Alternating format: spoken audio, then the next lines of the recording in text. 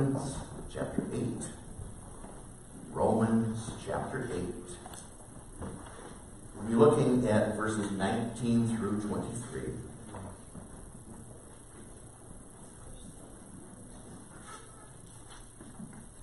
Romans 8, 19 through 23. What is a Christian? A Christian is a person, as we have found in our study through the book of Romans, who is justified by faith in Jesus Christ. Justified by faith alone. A Christian, by biblical definition, is not looking to themselves in any way to qualify for God's approval. One day, when he or she is standing before God, the Creator, and the judge, the Christian will not say, Well, I did this, or I did that. Will not say, I was consistent, or I was sincere. No. A Christian will say, Jesus died for me and saved me from my sin. All glory to Jesus. A Christian is a person who is justified by faith in Jesus Christ. A Christian is a person who has been joined to Jesus Christ, has been placed into Christ, into his death to sin and his resurrection to new life. So that as sin used to reign over us, now grace reigns through righteousness, leading to eternal life through Jesus Christ our Lord. A Christian is a person who, being joined to Christ, is a child of God, born again with new spiritual life, adopted as an adult legal heir of God, with all of the rights and privileges that come with that highest of all privileges in the universe. A Christian is a person who is indwelt by the Holy Spirit of God. God Himself has come to live in me. That is what it is to be a Christian. And He gives us assurance, the Spirit Himself, verse 16, bears witness with our spirit that we are children of God. And if children, verse 17, then heirs. Heirs of God and fellow heirs with Christ, provided we suffer with him in order that we may be also glorified with him. A Christian is a person for whom the fact of suffering is a reason for assurance.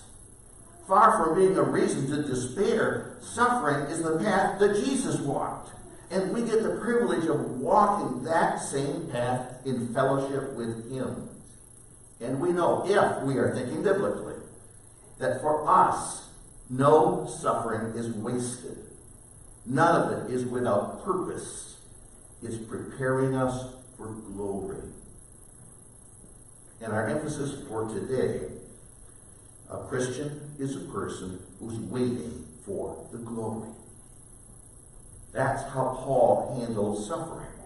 He focused on the glory that is coming. He followed the footsteps of his Lord and Savior and Master, who for the joy that was set before him endured the cross, despising the shame, and is seated at the right hand of the throne of God. Paul focused on the joy that was set before him the glory of his master.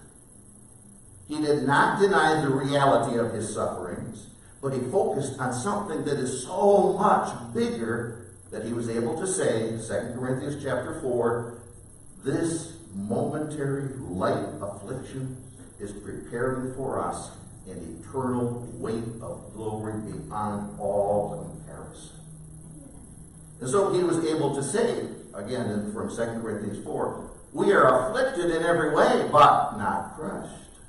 Perplexed, but not driven to despair. Persecuted, but not forsaken. Struck down, but not destroyed. Now, I think many Christians have to confess that doesn't seem to be the way it works for me. The trials and sufferings I'm going through, they just seem so huge so overwhelming. I, I just can't deal with it. It just seems so dark and so defeating. Well, that's because our view of the glory is so small. If, if we take the time to contemplate the glory that's coming.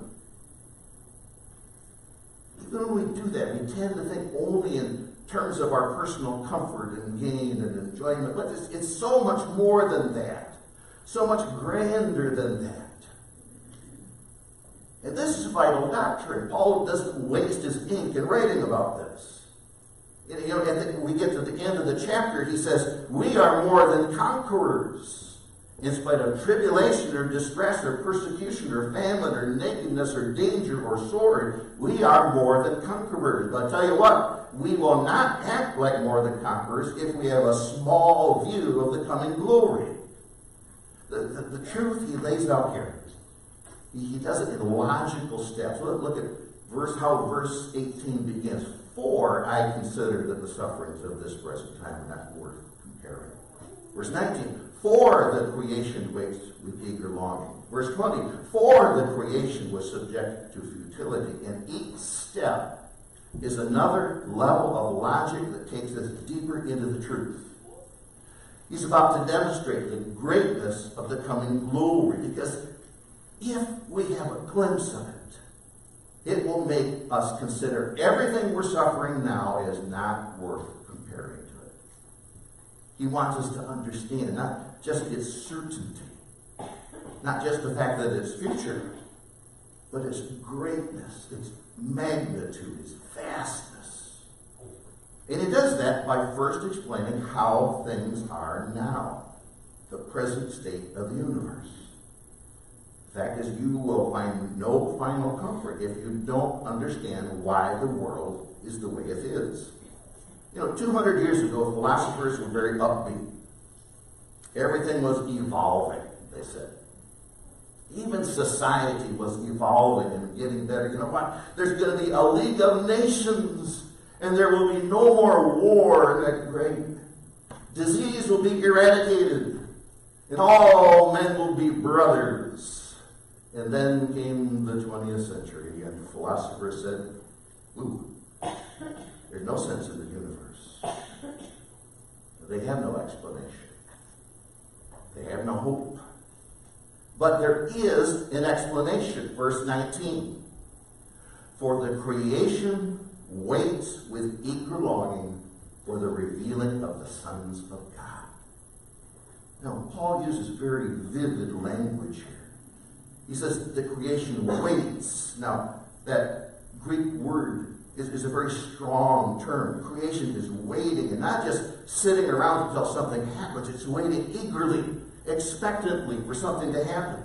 And then he adds another vivid word that's translated with eager longing, and that Greek term suggests lifting up the head, stretching out the neck. He's just saying, when is it ever going to happen? And to bring out the dramatic reality, he personifies it. You know, you all remember your English classes, right? You know, personification and all that.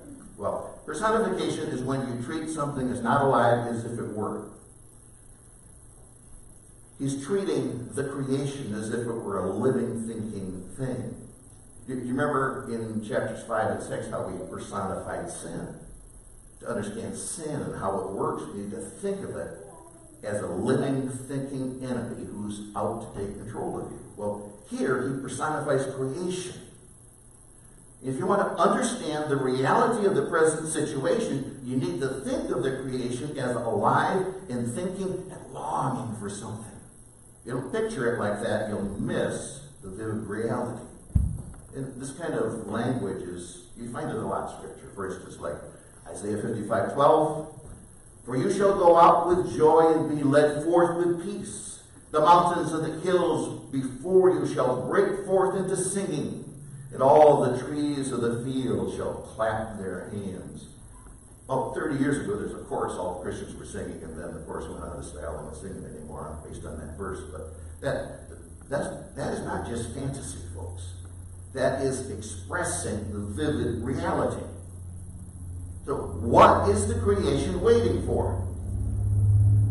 For the revealing of the sons of God. The creation is waiting for us, for God to reveal us.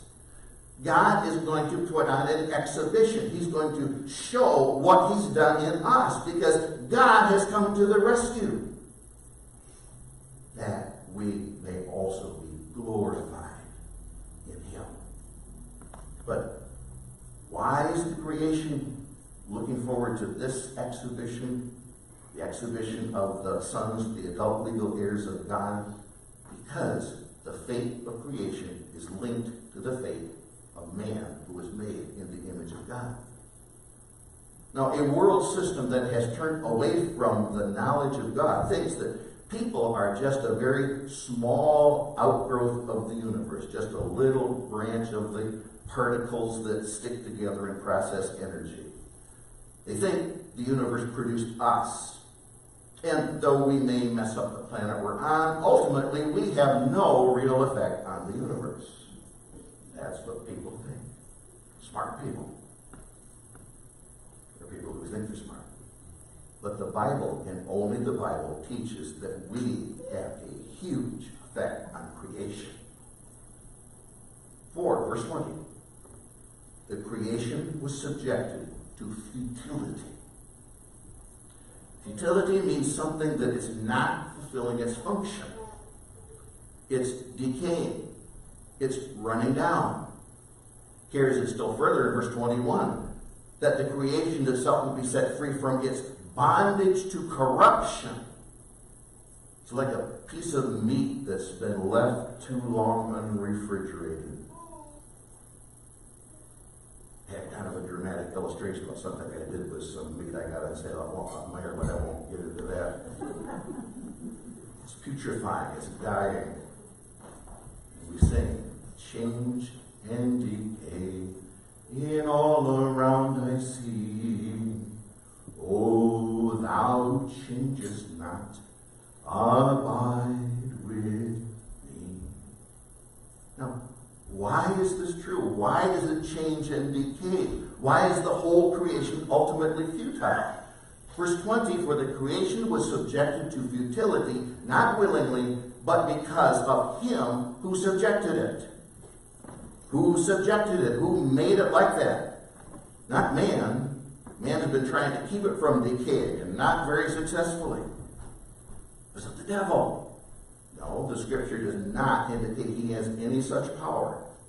The one who subjected it was God. In Genesis chapter 3, the guilty pair stand before God. And to Adam, God said, Because you have listened to the voice of your wife and have eaten of the tree of which I commanded you, you shall not eat of it. Cursed is the ground because of you. In pain you shall eat of it all the days of your life.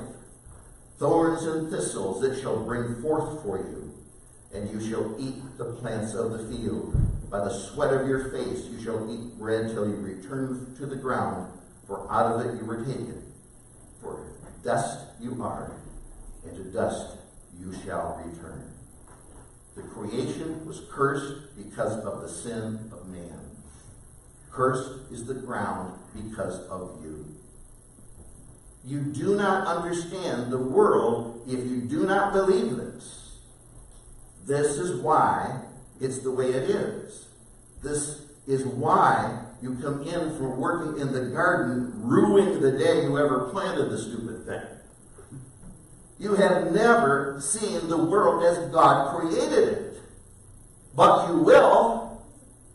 Verse 20, for the creation was subjected to futility, not willingly, but because of him who subjected it in hope. Now, if you're following along in your Bible, don't stop reading there. That's the end of a verse. What do we do? Because the Bible is chopped into verses, we stop at the end of every verse. Is there a period there? Look at your Bible. Is there a period? No. So you don't stop. The Roman Catholic priest who chopped the Bible into verses did a really bad job chopping it right there. So let's read it the way Paul wrote it. For the creation was subjected to futility, not willingly, but because of him who subjected it in hope that the creation itself will be set free from its bondage to corruption and obtain the freedom of the glory of the children of God. When God announced to Adam the curse that set painful limitations on him and all creation, he also gave the promise of salvation. The woman's offspring will crush the head of the serpent.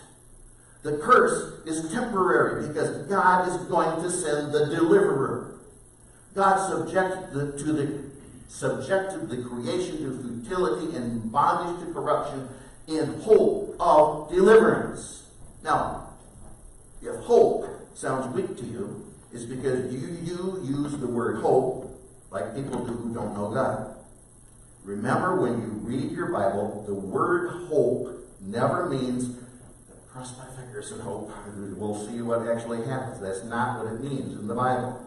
For the believer, the word hope in the Bible always means the rock solid assurance of the future because of the promises of God who cannot lie and cannot fail. Verse 21 the creation itself will be set free.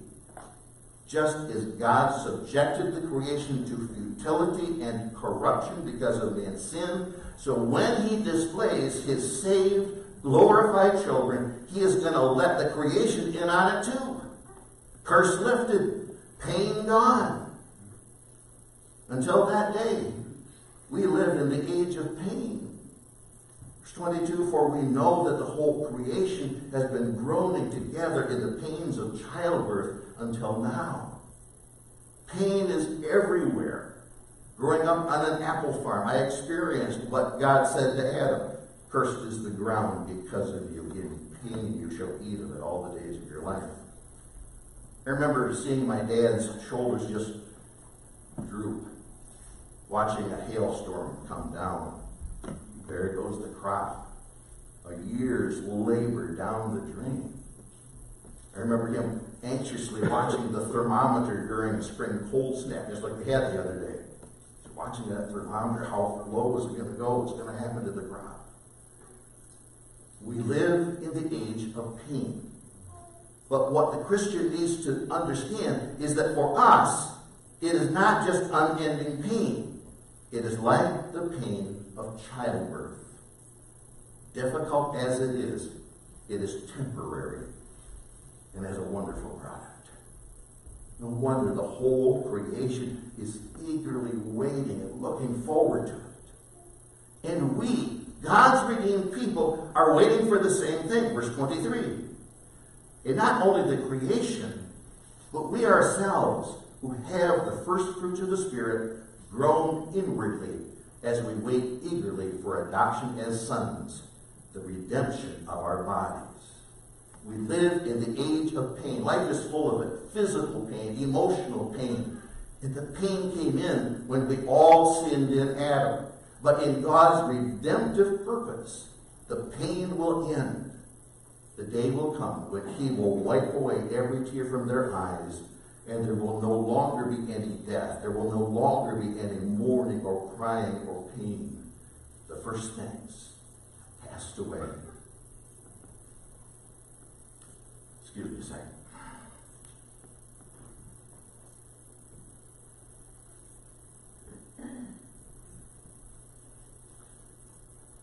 The glory is coming. And the greatness of the glory can be measured by the fact that it is universe wide. The whole creation has been groaning in pain, waiting for it. That day, waiting for the glory. But the day will come when the birth is accomplished and the pain is gone and there's nothing but glory. You know, we, we read Psalm 8, the very popular psalm.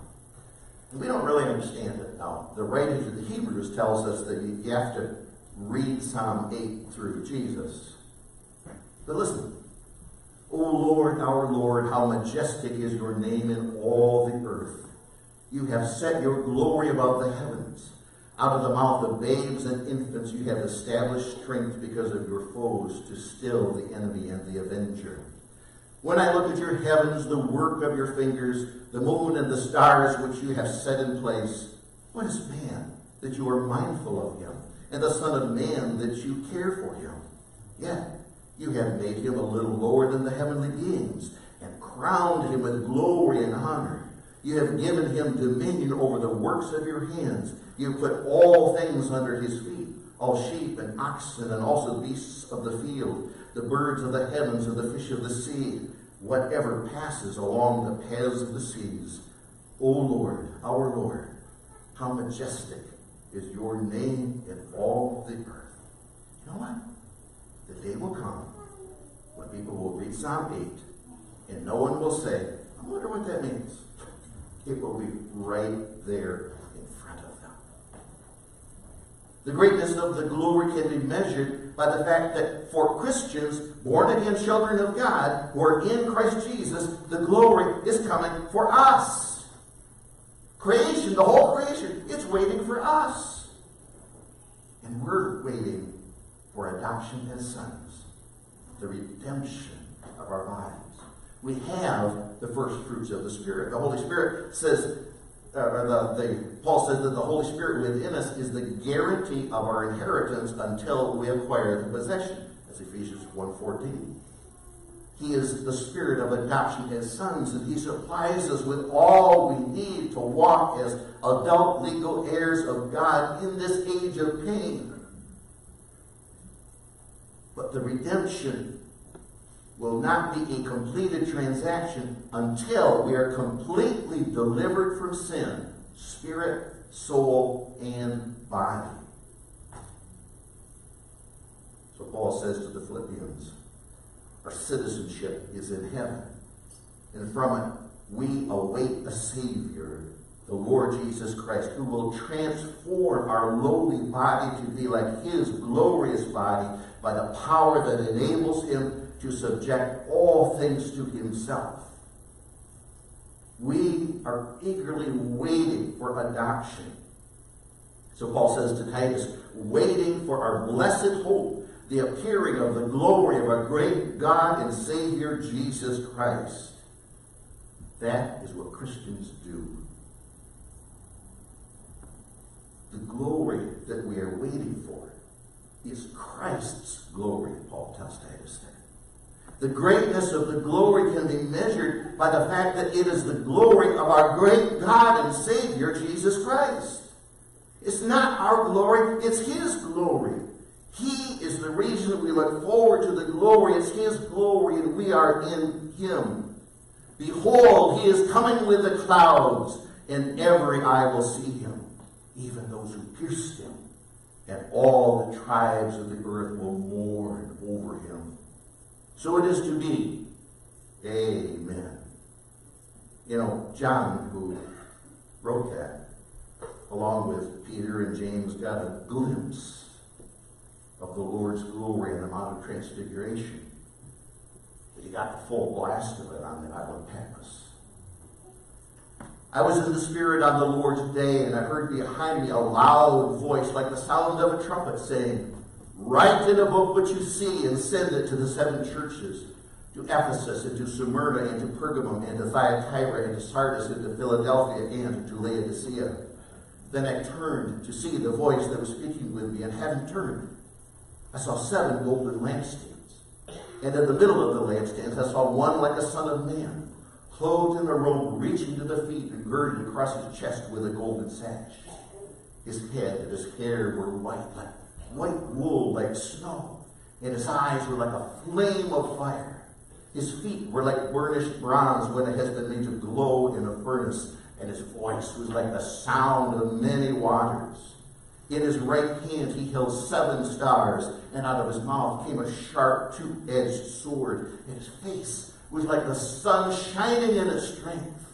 When I saw him, I fell at his feet like a dead man And he placed his right hand on me, saying, Do not be afraid. I am the first and the last and the living one. And I was dead, and behold, I am alive forevermore, and I have the keys of death and of Hades. It's the glory of Jesus Christ. Are you suffering? Are you groaning? as Paul says, the great whole creation is, and we too. The glory is coming. Are you in Christ? If you are, the glory is coming for you. So Jesus says through John. He who overcomes, I will grant to him to sit down with me on my throne, as I also overcame, and sat down with my Father on his throne. He who has an ear, let him hear what the Spirit says to the churches. Oh, Heavenly Father, help us to grasp a little bit come in glory. Change our focus. So that when we weigh the suffering and trials that we go through, we'll be able to say, it's just momentary. Compared to the glory, it's light.